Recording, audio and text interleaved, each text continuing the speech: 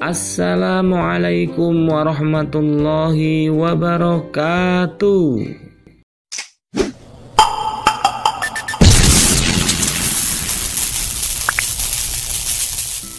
Halo teman-teman subscriber Berjumpa lagi di channel Aam Salman 354 Kali ini saya akan membagikan ide jualan model kecil untung besar Cara membuat es teh bahagia, yang enak, murah, dan bikin ketagihan. Tonton terus sampai selesai ya. Bahan-bahan yang perlu dipersiapkan teman-teman. Yang pertama, satu box teh celup. Di sini saya menggunakan merek Tongji Jasmine Tea. Kemudian dua saset pop ice rasa stroberi dan blueberry teman-teman juga bisa menggunakan rasa yang lain.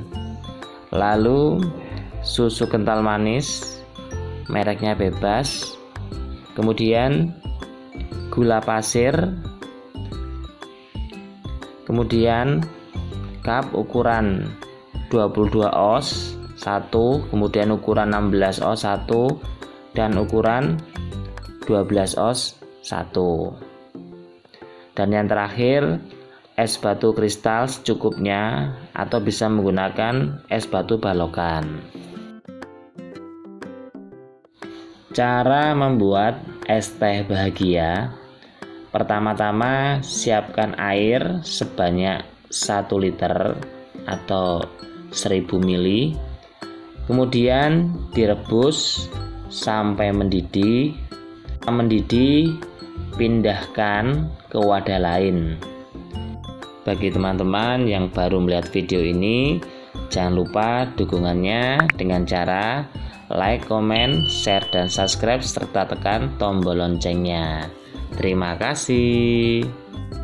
Lalu siapkan 4 buah teh celup tongji rasa jasmine tea.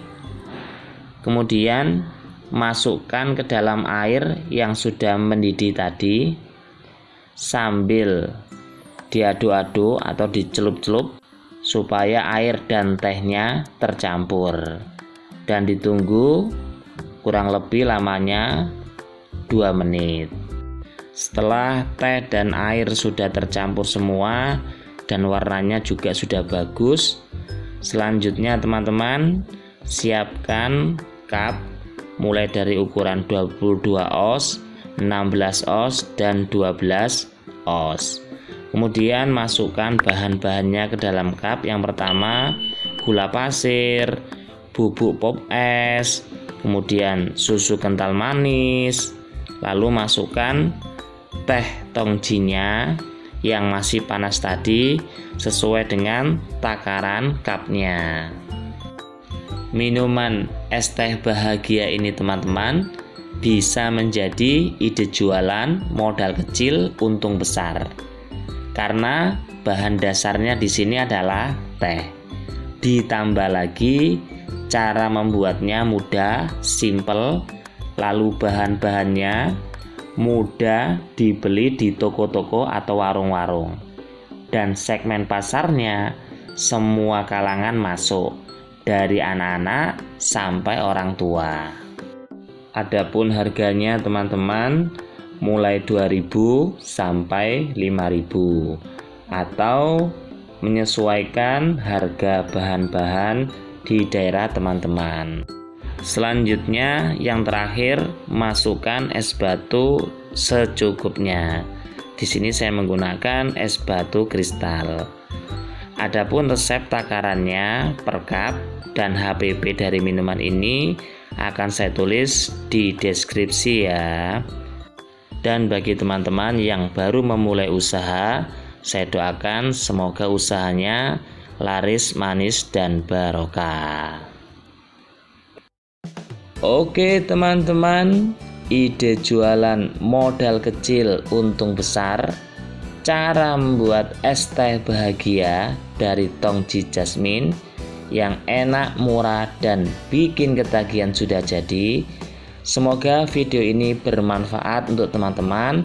Jangan lupa Dukung terus channel ini Aam Salman 354 dengan cara like, komen, share, dan subscribe serta tekan tombol loncengnya supaya teman-teman tidak ketinggalan dengan video-video terbarunya.